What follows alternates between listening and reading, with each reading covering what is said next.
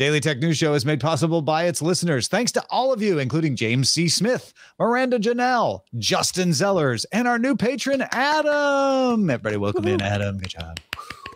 On this episode of DTNS, more evidence that AI might not take as many jobs as we fear. And Dr. Niki tells us some of the science being done on the International Space Station thanks to the Axiom 3 mission.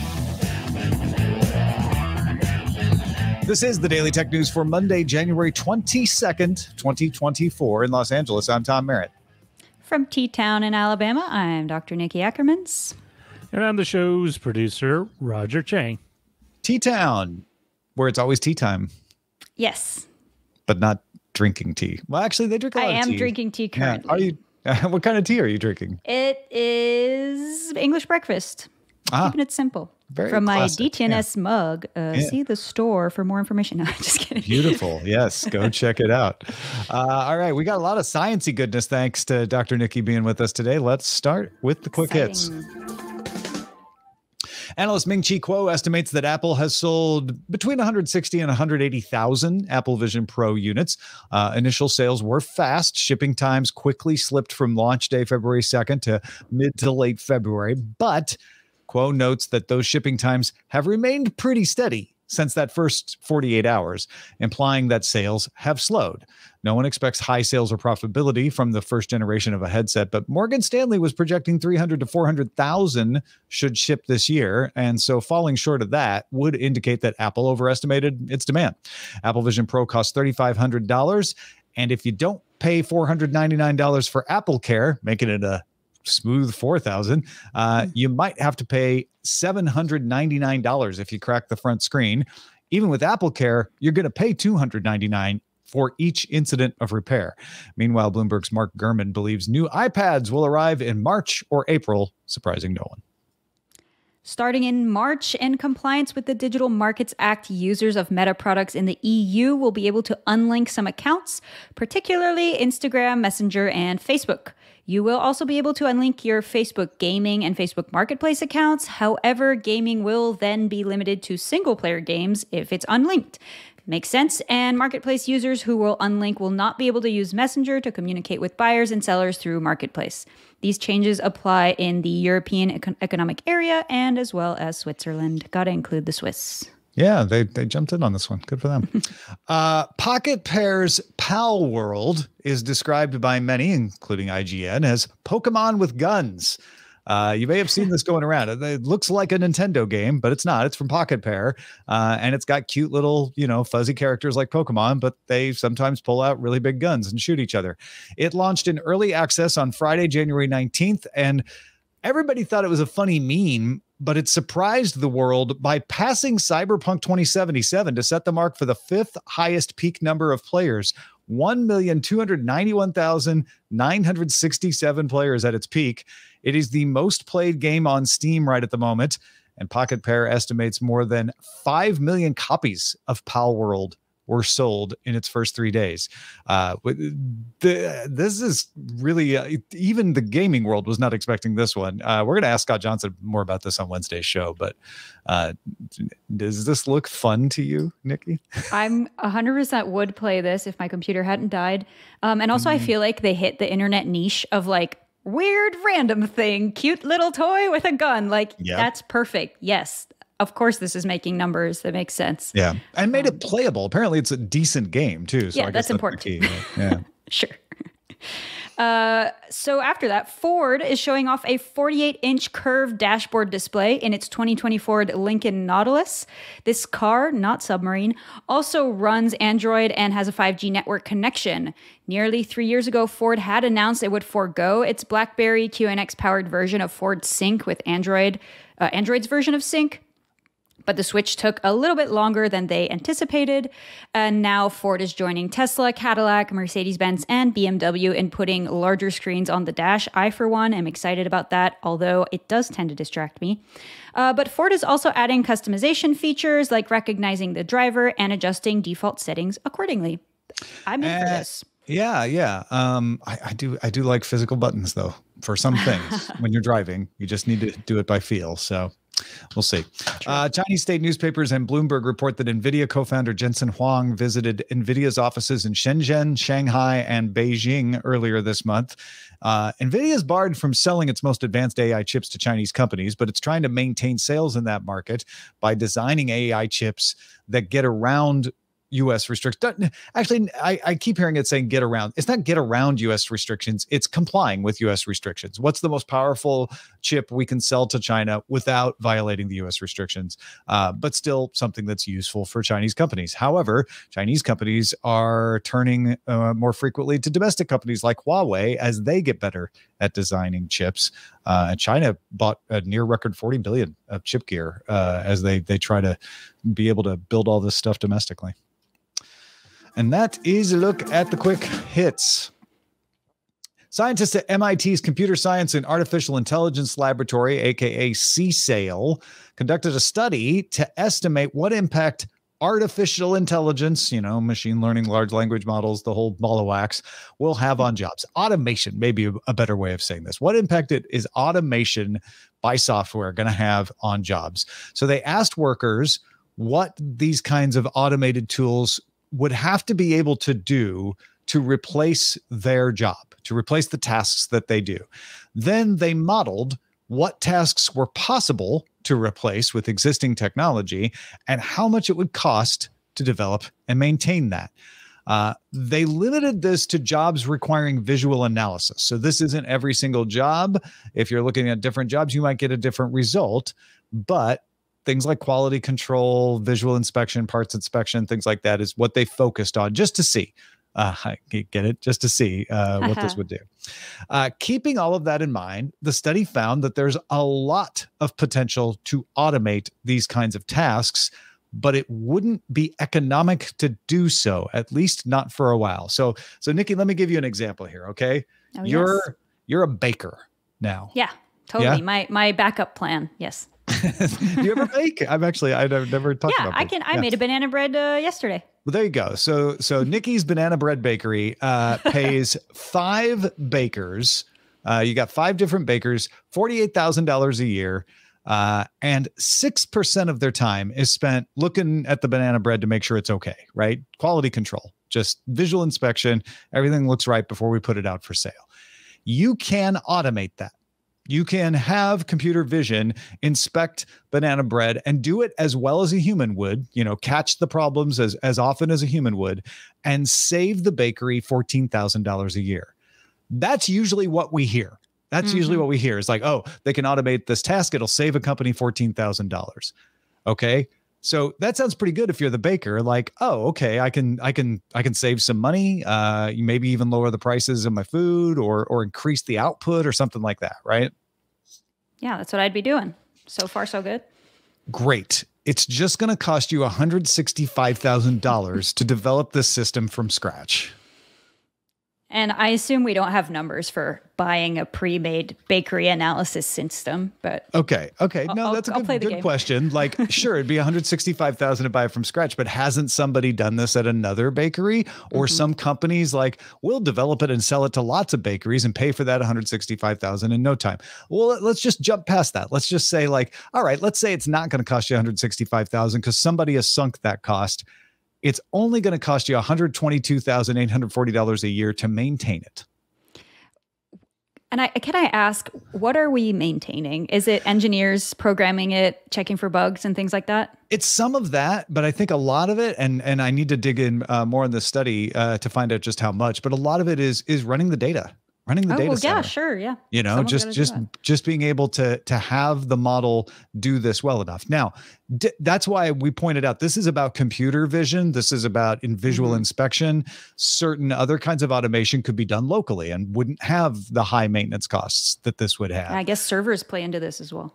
Yeah, exactly. So it is too costly, according to this study, for most uses of computer vision to economically replace people. Uh, and the, the, the they pointed out that even if the cost got cheaper by 20% a year, it would take more than a decade for it to become cost efficient to save that $14,000. Now, the study didn't consider uh, systems that just augment visual inspection and speed it up versus replacing it. Uh, that would have a different impact. It did not consider new tasks and jobs like what if you have the ai maintain the ai system does does that help uh, save you any money with the engineering side of thing and the software side of thing uh, so there's still some questions here but i think this is just a good example of when you're thinking about this stuff if you want to think about it fairly to remember that like okay saves me $14000 a year but how much does it cost to run? Because if it's more than 14000 it's not worth doing. Yeah, I actually love this study because I run into this all the time with just like my family, honestly, who are like, AI, you know, it's going to take all our jobs. And I, no one really has the analyses to back them up in their in their back pocket and so things like this are great. It kind of brings back this like why are we making ai do all the art? Why can't we make it like check our emails? And like probably because right now it's cost prohibitive but yeah um, sometimes i want to pay $122000 a year to make it check my emails i cannot afford that but right uh, right but I, I do like the breakdown that they did and and i want to see more of this for more job types and i'm sure it's going to get better you know as ai becomes more omnipresent yeah. And and this isn't me trying to say like don't worry there'll be no problems from AI because there there definitely will. Oh yeah. Uh, but the, this gives me hope that it will it will disrupt things slower uh, which is good. Yeah. The, the, slower it disrupts things, the better it is because it gives us a chance to get used to it, to find new things to do with the excess capacity that humans do, uh, and well, continue. Adaptation period. Yeah, yeah, adaptation uh, continue to identify what it is that we can do best uh, and and do that uh, and that's what happened with computer revolution and we didn't see people thrown out of work by computers mm-hmm. um, it somewhat happened with the internet revolution too where where the internet created jobs rather than replacing jobs so. Yeah i like i like this study as far as it goes. It is not the last word though so as always excited for more. Yeah. uh, the Slim moon lander, we talked about this quickly on Friday, made Japan the fifth country to successfully land a spacecraft on the moon intact, but the orientation was off. I don't know if we actually talked about this much on Friday. Uh, despite Slim being nicknamed the moon sniper because of its precision landing capabilities, whoops, it didn't land as precise as they wanted. The solar panels are pointed west, and the sun on the moon right now, where they landed, is to the east. So they're not getting the sun on the solar panels, which means the batteries aren't charging. Uh, so they turned off the battery uh, in order to make sure that there's still some battery left for them to try some other things later. Um, they operated for about three hours collecting you know some details and some images and other data uh, and the battery was at 12% that gave me panic when i saw that yeah. i was like 12% go Uh-oh. plug in yeah So that's that's kind of what they did. Um, but based on what they were able to gather, uh, they think that the sun will move into a position over the next two weeks where it will be in the west and therefore shining on the solar panels. They don't know exact position. They don't know how much sun it will get. Uh, but they're hoping that it'll get enough to charge that battery back up and they'll be able to do a little more with it than they could in the three hours that they had before. Yeah, from what I heard, they were um, pretty happy with the data that they collected, but the uh, mission, whoever was in charge of the mission, was frowning during his interview, and he said, "Like, I, I'm not completely satisfied with what they did," and he was all uh, frustrated. Yeah. I can understand this is probably a many years in the making project and um, to have it not go perfectly. I mean, it happens a lot with uh, space stuff because there's only so much you can predict. But um, you know, it's good that they got data anyway. I'm sure they had a lot of backups planned into this to make sure that that happened, including leaving those 12% for it yeah. to hopefully maybe catch something else on the way back out. But um, the interesting start for the uh, for JAXA. I feel like space travel is a lot harder than we got used to. Yeah, uh, we got really lucky in the beginning. uh huh. We put a lot, lot of effort, right? Yeah. Uh, it, because we only had a few shots, and so we were very focused on not killing astronauts and doing things successfully. Mm. Uh, but as things become more common and as things are uncrewed, which means you're not risking human lives, I'm not saying the focus is lost, but you know, you just you just run into the law of averages more. And it could be that the um, maybe we're a lot more open about communication about what's going on right now. It could be that if this was the first like robot moon landing, we would have been like, this is a massive success, and like maybe wouldn't have talked about it shutting off early. But this is so in Possible, quotes yeah. common now uh, that we get all the details and we're like, oh, another moon landing. You know, it shut off a bit early. Not Yeah. great. 50-50 you know and and th- this one did better than many in, in that it actually landed successfully it didn't crash into the moon and destroy itself. Exactly. itself And maybe next time don't have as much of a cocky nickname. that might help. the moon sniper i know i think that's probably the reason that guy was so upset he's like oh why did we why did we embrace that nickname uh but yeah it's it's really it's really difficult to do this stuff so I, I try to remind myself that like it's it's not that somebody screwed up uh although maybe it, it's more likely there's just un, unanticipated uh variables that Yeah, that there's so many learn from. variables that you can't calculate. Like the, the moon dust is going the different direction with this Yeah. propulsion jet that you just can't simulate that on a computer or on Earth. So maybe they'll learn from their mistakes. Yes, we, that's the thing. We always learn from the mistakes. There's that they were able to collect data even in that three hours. Hopefully, they'll be able to collect more data. The two rovers properly deployed, uh, that they were able to find that out. So if they can get the battery charged back up, they can operate those rovers and do some more of the mission. Uh, and uh, so good, good luck, uh, little moon sniper. May good luck, sun Slim. Be in your favor. Yes, may the sun be on your west side soon. May Slim not be shady. Okay. oh, that's perfect. Yes. How did we miss that one till now? Good job. Uh, may Slim not be shady in this case. Uh, folks, we have a lot of good stuff going on at youtube.com slash daily tech news show. Yesterday, I did a stream with Eileen Rivera uh, called What We're Streaming.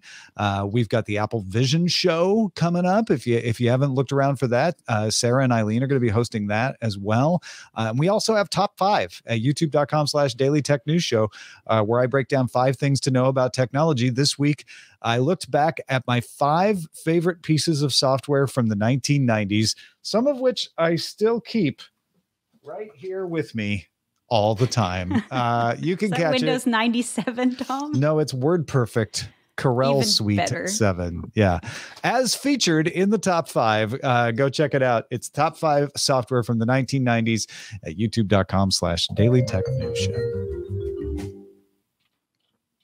Last week, NASA launched the Axiom 3 mission from the Kennedy Space Center in Florida and successfully docked with the International Space Station. It's the third private astronaut mission to the International Space Center. Uh, the four European member crew uh, was aboard a SpaceX Dragon spacecraft. You hear a lot about things not working, uh, but when they work, you don't hear about it. This is a, a SpaceX uh, rocket, a SpaceX uh, capsule, and they all docked and made it on, and everything's good. Uh, now the crew is scheduled to conduct 30 different experiments while aboard the ISS.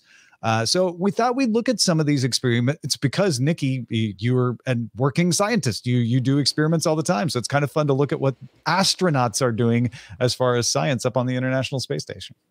Yeah, and, and there's some exciting ones in here that actually line up with my research, and that's part of why I, I got wind of this. Um, I, they're always doing a ton of experiments up on the ISS, um, but this had like a new cluster of them, so I figured we'd we'd check them out. Um, and I, am starting with a selection. I'm not covering all 30 of them, but here's a selection of ones that I was interested in. Okay, cool. Hint, Yeah, I like this. It skews towards biology. that makes sense. If you don't know, Doctor Sorry. studies you study skulls, right? Like I study brains and all yeah, the brains and skulls and lots of biology stuff yeah. Um, but so starting with the italian space agency they're planning on investigating the molecular signatures of certain biomarkers so markers that you can find in substances in humans i, th- I believe it's humans to understand how space missions affect yes the human body um, one of their targets of interest is also a target of my interest, which is the beta amyloid protein. Um, you may have heard of this in the media. This is related to Alzheimer's disease. If it misfolds or accumulates in your brain, it basically clogs off your brain and is a biomarker for Alzheimer's disease. Um, and in, they're studying this in two parts. One of them is to understand how it acts in microgravity and if it's maybe folding weirdly and that's kind of just an experiment to, to better understand the protein itself. We don't know too much about it. And the other is potentially for the long term to see if there are long term effects of space flight. So potentially Alzheimer's in space? Question mark. Mm-hmm. Maybe more Alzheimer's, maybe less Alzheimer's. I think this is really cool. Uh, but mostly because I so, study this. so yeah, I mean that makes sense that this one would catch your eye, and and certainly something that studies like, oh, are you at elevated risk for anything if you travel mm-hmm. through space? If we're going to be doing extended trips to the moon and, and Mars, we the more we know about that, the better. I mean, it also I think it's interesting to just see like, oh, how does it fold in space? Yeah. Does going to space unfold them? Like, what if it reduced them? I'm not saying it will, but like that would be amazing to know. And then send all the old people into orbit so that they get over their Alzheimer's. That'd be they amazing. can colonize Mars. That's fine. Yeah, yeah. yeah, who knows? I'm I'm really curious. There's so many unknowns with stuff like this. We don't have a lot of long term, in terms of Alzheimer's, long term um, astronauts. I mean, I think I don't know what the longest flight has been, but it's a, a few years, I assume. So mm-hmm. not enough to yeah. develop Alzheimer's. So interesting. Um, they have other medical experiments that the Italian uh, group is doing. They're doing a study on the effects of microgravity on ovarian cells. Uh, this is another kind of long term study. First, they want to see uh, how the hormone production works and how it's regulated in space.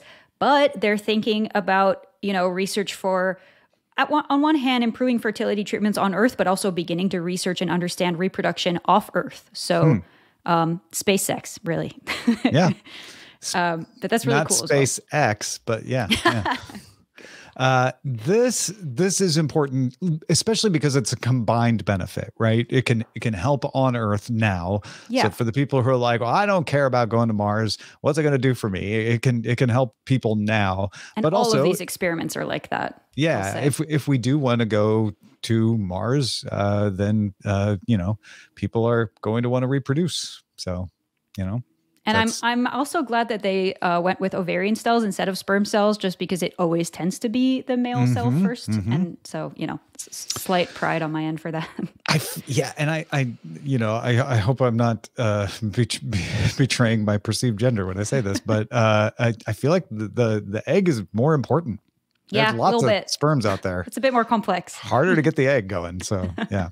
Uh, all right. How about the non-biology slash physics experiments? Yeah, so I include a few of those just for the non-biology fans that we have, uh, and I'm gonna I'm gonna gloss over them because I am not a physicist. But the Italian team is also testing radiation shield materials that were developed in race cars originally.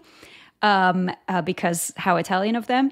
And the Turkish team is testing metal alloys for use in space, potentially looking at even creating new alloys from conditions that would be in space, like microgravity. Mm-hmm. Um, and they're also testing more microgravity experiments on fluid dynamics. Um, I'm not going to develop further on that. the Swedish team is analyzing thunderstorm clouds from space. They named this the Thor Davis project, which I nice. thought was great, uh, and also properties of plasma, the uh, the gas slash liquid, not the blood Mm-hmm. All three groups are also testing the use of AI because, of course, there's an AI story. Um, they have a sort of a crew companion who's going to help with various tasks and uh, mission efficiency and crew support. Very vague. Reminds me of a certain 2001 Space Odyssey. I'm sorry, Niki. I can't look at your thunderclouds right now. I have disconnected. Yeah. The airlock. Yeah. Okay, those are those are good, uh, and you know, little little Forza in space, uh, always a good thing. Thunderstorm clouds, particularly, I think is interesting. Better yeah. we get at, uh, at weather information, the better. Not only for like predicting the rain, but but predicting the climate and and seeing where it's going, and just um, understanding um, it. Yeah, uh, this launch also included the first Turkish astronaut, uh, Alper Gezeravcı. What is the Turkish space agency sending to the ISS?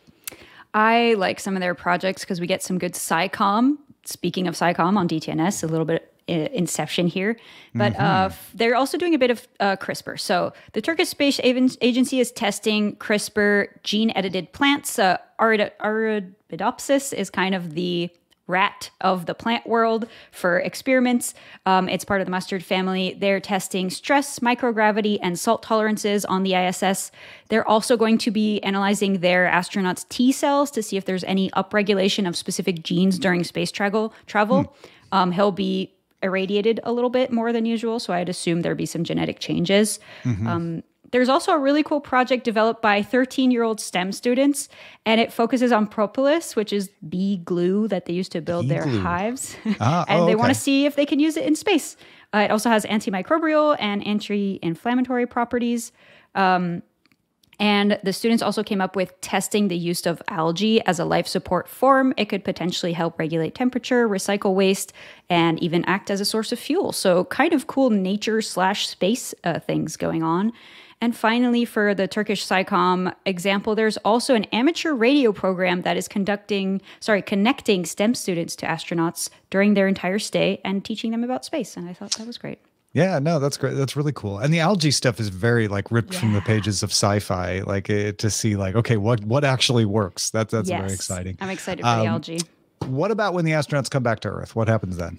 Sure. So, uh, as usual, the astronauts will usually go a lot, undergo a lot of tests when they come back. These are some specific ones, but uh, they'll have, in this case, MRIs to check uh, whether their brain um, expression has changed in any way. They're going to look at their vascular health because uh, microgravity probably af- affects vasculature.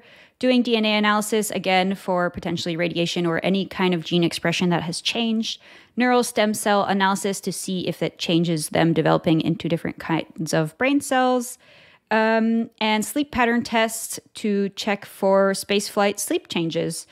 Um, also, I just wanted to add my. Oh, sorry. That's it.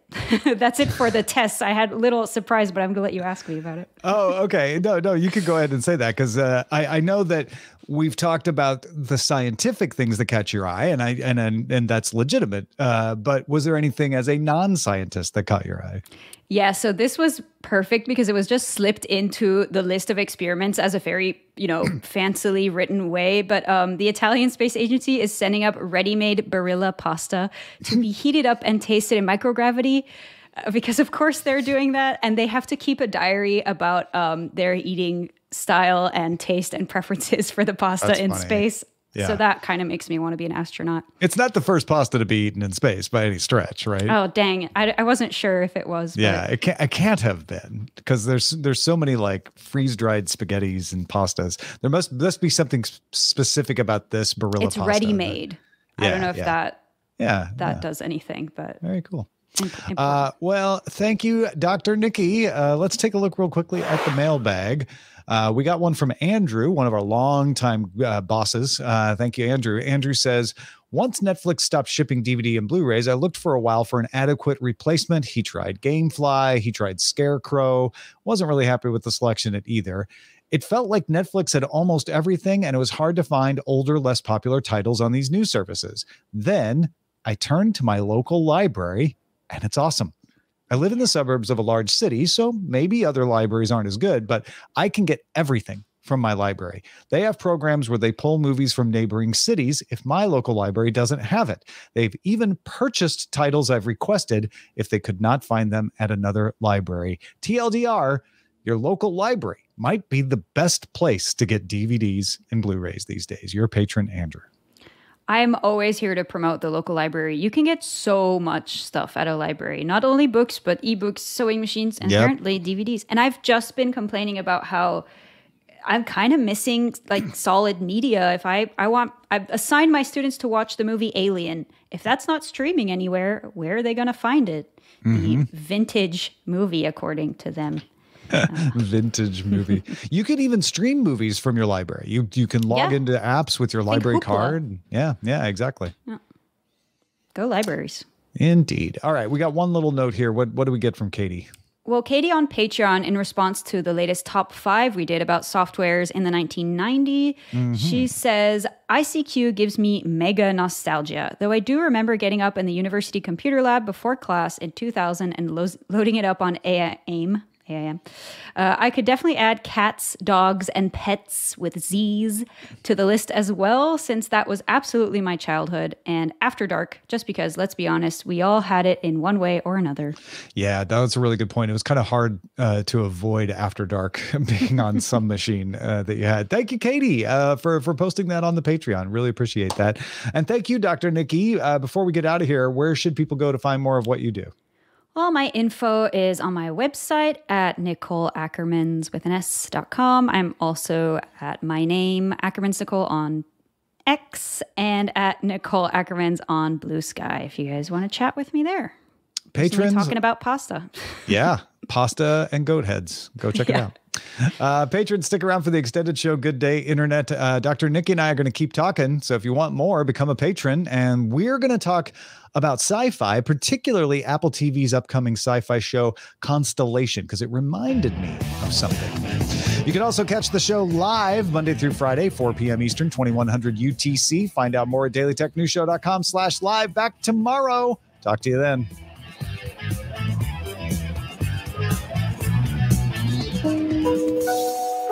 The DTNS family of podcasts, helping each other understand. Diamond Club hopes you have enjoyed this program.